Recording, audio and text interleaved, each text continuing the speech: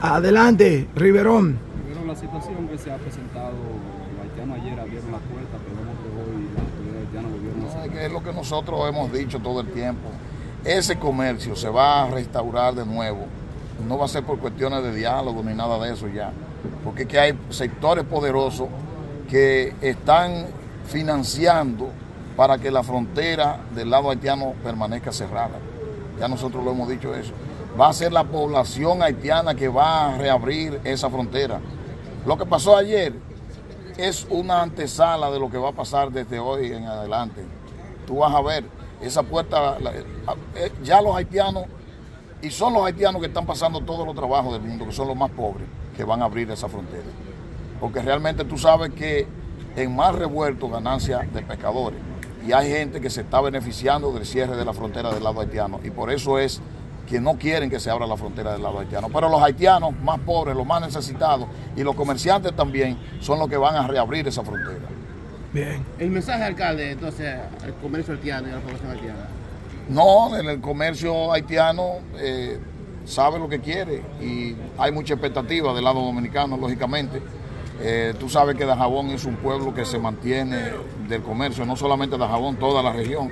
Y hay mucha expectativa y esto se va a reorganizar. Esto, eh, yo dije en una ocasión que República Dominicana tiene que estar preparado. Nosotros tenemos que aprender a vivir sin, sin el tema del comercio.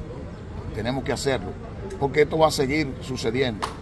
Ahora, el tema de la reapertura del comercio entre Haití y República Dominicana va a ser una decisión del pueblo haitiano. Y ustedes verán que esa frontera se va a abrir. ¿Tu parecer, Riverón, eh, de la actuación de ayer de los haitianos? No, no, esa es una actuación correcta. Porque es que hay demasiados intereses del lado haitiano que no quieren que se abra la frontera de ese lado porque hay beneficios. Estamos hablando de que hay dos grupos poderosos de Haití que están incidiendo económicamente para que esa frontera no se abra y tienen nombre y apellido. Entre ellos el grupo ACRA de Haití y un grupo incluso dominicano que está, que está incidiendo para que no se abra esa frontera. Y, y la gente ya se empoderó. Ya el pueblo haitiano está empoderado.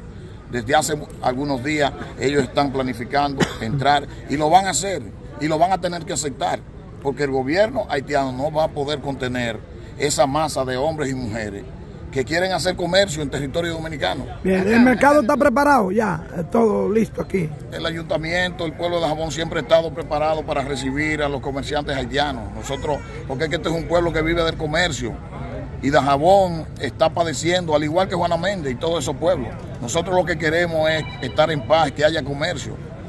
Alcalde, la participación del empresario que lo mismo aquí. Brillante, Kidder Tavera ha tenido un, un impacto significativo, sobre todo porque Kidder no estaba acostumbrado a este tipo de situaciones, pero ha hecho un trabajo excelente de contacto y, y de diálogo. Yo, yo pienso que ha sido excelente. Muy bien.